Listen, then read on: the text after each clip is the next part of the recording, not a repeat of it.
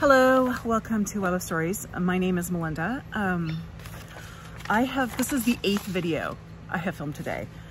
Earlier today, I filmed seven videos because I had gotten my hair done and it looked nice and I wanted to, to take advantage of it and I thought I was done. And then um, tonight, I went to watch some, some YouTube videos and the first one I clicked on was a video from Elizabeth at Books and Bocadillos called Thinking of Alice. I didn't think anything about it. Alice in Wonderland, could be Alice my cat, I don't know. Um, I am, don't check my community page as much as I should. Well, in this video, she said um, that booktuber Alice of Alice and the Giant Bookshelf had passed. Um, terriers. Um, Alice is, well, we've lost a number of booktubers recently within the past year, and it's always sad. It is always sad, but Alice is the first one that has passed that I kind of had a relationship with, that I followed actually. Let's even start that. I didn't even know the other ones who had passed, but um, Alice passed um, I did know Alice. Um, Alice, once I got on BookTube and started going, Alice was one of the first um, booktubers that I, I started, that I kind of found once I was in the booktube community. She and I had very similar reading tastes. We both really like mysteries and uh, we both kind of bonded over uh, Ruth Galloway by Elly Griffiths, um, which ironically is not on this thing. Um, yeah, so I just found out, like I watched the, Elizabeth's video. And in that video, she said that a few years ago, Alice had created um, a book tag called the Hercule Poirot book tag. And it would be a nice tribute to get this going again. So I thought, mission accepted. and I printed it out. I am not at my computer right now. Um, my son is watching God knows what. I tried to film upstairs. My husband walked in in the middle of it, so I'm in the backyard. You're gonna hear the neighbor's dogs. I'm sorry, I'm doing the best I can. Um, but I printed out the, the um, prompts and I pulled some books and, um, oh, sorry, and I moved my camera. and we're gonna do this. So this is the Hercule Poirot mystery book tag and this is for Alice, of Alice and the Giant Bookshelf. Um, one thing I have forgotten is my little jar with my people to tag, but I will tag people at the end because we need to get this going for Alice. Alice left quite a um, quite an impact on BookTube. So first, the first prompt, there are 10 prompts. The first one, Hercule Poirot is a detective who is extremely proud of his achievements. In The Mystery of the Blue Train, he announced, my name is Hercule Poirot and I am probably the greatest detective in the world. If not Poirot, who is, a, who is your favorite detective? And what book do you recommend featuring your favorites? That one was really easy. My favorite detective, even more so than Hercule Poirot, is Armand Gamache. And um, you do need to read, and this is the three, this is the Three Pines books from um, Louise Penny. You do need to read them in order, which makes the fact that I am recommending the 18th book in the series a little bit difficult.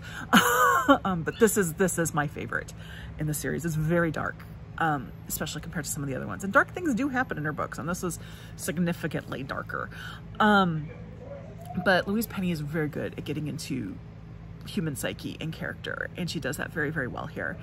Um, this book took my breath away. I highly recommend it. Just read the 17 books that came before it first, but yeah, Armand Gamache is my favorite detective. Two, Hercule Poirot famously uses his little gray says. I should have my mug that says, uh, I don't know, I have a, a Poirot mug. I should I should have worn it, but you know, spur of the moment. And also it's 8.30 at night and I'm not gonna be drinking coffee, but. Hercule Poirot famously uses his little gray cells to solve cases. Have you ever solved an Agatha Christie mystery? If yes, which one? I think there were a few that I figured out right before the reveal, but there was only one, this one, that I figured out far too early in, in my own opinion, it was far too early. And that is Halloween Party by Agatha Christie. This is the second, I believe the second to last book that she wrote. The final two books she that were released posthumously were actually written like 30 years earlier. They were written during World War II, and that, that's the final Poirot and the final Marple. So take those. She, this is the second to last one she wrote. Um, and she was dealing with a little bit of decline and it, it shows this is not a tight book. Um, there's things that don't need to be in this book. There's things that don't make sense. Um, I, I, personally think if you're going to take a book and totally obliterate it and take little tiny things out of it and make a movie and set it in Venice and Halloween, that's probably the best one to do. because, but uh, yeah. This is the one that I only, the first one that I've read so far. Now, I have not read a lot of her later ones, but this is the first one I've read so far that kind of was a disappointment because I figured it out too early, but Halloween Party. Prompt three. The Mysterious at Styles is the introduction to Hercule Poirot. Recommend a first book in a series where you met one of your favorite characters. Um, you knew this was coming, and I'm just going to show you this if you can see it. It's blurb by Louise Penny, but it's William Kent Krueger. um, this is the first in the Cork O'Connor series. Um, this book, uh, this is the 20th anniversary edition, and so it's over 20 years old. The 20th book in this series is coming out um, in two months. Um, this is where we meet Cork O'Connor. He's we meet him. He's not in a great point in his life. He is separated. Um, he was the sheriff of a town, and something happened, and he had to to leave his post. And he's like living in this this hut and selling burgers.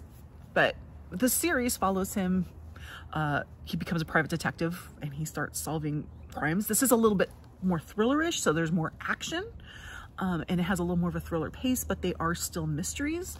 Um, this copy I got from my father-in-law for Jolabokaflod this last year, and he read it while he was down here for Christmas, and then left it for me so I can put it on my keeper shelf. And he's gonna get the second book this year. okay. Uh, prompt four, Murder on the Orient Express. Agatha Christie wrote several Poirot books set on different types of transport. What is your favorite mystery set on a train, plane, or boat? And I'm gonna have to go back to Agatha Christie for this one, and that is Death on the Nile. Um, I read this book kind of out of publication order as I did Halloween Party and a couple other books. I read it because I knew the movie was coming out. Um, I really liked this mystery. I really enjoyed this mystery. Did not particularly like the movie, the Branagh movie version. I think there's some really um, crucial little things in this book that really make it that Branagh, for reasons I don't understand, left out. Um, but this is a really, and it's like Louise Penny, this one really gets into human psyche more than many of Agatha Christie's other books, um, which I think is why I like it so much. But uh, yeah, so Death on the Nile by Agatha Christie, very atmospheric. Okay. Number six, the ABC murders feature a killer working their way through an alphabet of victims. Uh, recommend a mystery involving a serial killer. I had to think about this one, um, and then it came to me. And it's a book that I read many years ago, but it's been made into a TV series. Um, I didn't watch all the TV series because this is not really something I want to watch on television. but this is The Alienist by Caleb Carr, and it is based on a real life serial killer um, named Albert Fish. I think that's what I wrote. I can't really read my writing. But it's set um, around the turn of the 20th century, and there's a serial killer um, and loose in New York, and they got to find him, and he does really nasty things. Um, there is a cameo by the police chief Theodore Roosevelt in it, which is a lot of fun. But this was a very suspenseful, very well done mystery. Um, it is a little hard and dark at times, so you got to be okay with that. There's like gore and awful things that happen in it, but it's done with the respect needed for it. Um, but yeah, that's, that was really the only serial killer one I could think of. I'm sure there are other ones, but as I said, I, I just watched this video and watched Elizabeth's video, watched the tag video, doing the tag. okay. Okay. Six, Dumb Witness, which actually is right here. Recommend a book where an animal helps, oh wait, Dumb Witness, Bob the dog uh, helps Poirot's investigation in this one. Can you recommend a book where an animal helps solve the case? I don't know if the animal actually helps solve the case in this one, um, but the animal plays a big part. And this is a, a, book by Alice Henderson. She has a series, and this is uh, the first in the series. It's A Solitude of Wolverines. And um, the the main who's not a detective, but detective-like person is actually a wildlife researcher, and she's off researching populations of wolverines. Um, there are currently three books in the series. So it's Wolverines is the first one, and I've never felt more sympathy for a little mean furry thing that can kill you than I did in that book. There's also weird, like there's a point in this book where something very weird happens. And you have to be able to just keep reading past that because it does make sense, but it is so weird when it happens. You're like, what? but if you read past it, it makes sense. Um, but the first book is A Solitude of Wolverines, and then there's A Blizzard of Polar Bears, which made me want to go to the Arctic. And then the third one, which is on my Kobo, and I have not read, is Ghost of Caribou, which is about caribou. So she's really into the animals. And I'm sure if, if you read the cat books, whoever wrote those cat books, they would do it too. But I'm going for Wolverines. Okay. Seven, Five Little Pigs. Poirot solved several cases in his time that have been closed for years. Which is your favorite cold case Poirot? Now, I, I didn't come up with a cold case Poirot, and I think there are a number of Poirots that I haven't gotten to that are cold case. But I did think of another cold case book that I actually really liked. I was surprised at how much I liked this book. I don't know if you'd really consider it a mystery as much as you would a horror. Um, I think it's usually considered horror, but it's by Simone St. James and it's The Broken Girls. It's probably my favorite of her books. And in it, there is something that happened 50 or some years before that they end up in the midst of this figuring out. Um, there is horror, it is a horror book. So there's a mystery element to this horror book, but it is a horror novel and Simone St. James can make you, can creep you out, which is what I like in horror books. I don't know. I don't think Alice was much of a horror reader, but um, that was, that was one I came up with. okay. Uh, number eight, Dead Man's Folly. Uh, Dead Man's Folly is famously set in Christie's own holiday home, Greenway. What is your favorite murder mystery setting? And I'm going to go back to Louise Penny and Three Pines. I want to live in Three Pines. I want to live there. I know that there is like a uh, disproportionate number of murders. I don't care. I want to live there. I want to have dinner parties. I want to hang out in the bookstore. And if I can't live there, I want to live in Aurora, Minnesota in the Boundary Waters and go kayaking and um, eat lefse. so yeah, really, this is my first choice. This is my second choice. so yeah, I've always, that's always been my dream to live, to live in Three Pines, which doesn't exist but there you go. okay. Uh, number nine, do you have a favorite Poirot mystery? If not, tell us a favorite mystery you've read recently. So this is not necessarily my favorite Poirot mystery, but it's my favorite mystery. It's my favorite Poirot in a mystery, if that makes sense. Um, I, I, enjoy Poirot the most in this one, and that's Dumb Witness. Um, he just, he's, he's got a lot more character in this book. Some people complain that it's not in character character, but I don't care. I still liked it. I thought it was lovely and fun and kind of like saucy. This is preceded by a couple books where I felt that um, we needed some more Poirot than we actually had. So this was a nice change to have a lot of Poirot in with this one. So not my favorite Poirot novel, but my favorite Poirot in a novel. okay. And finally, 10. How many Poirot books have you read?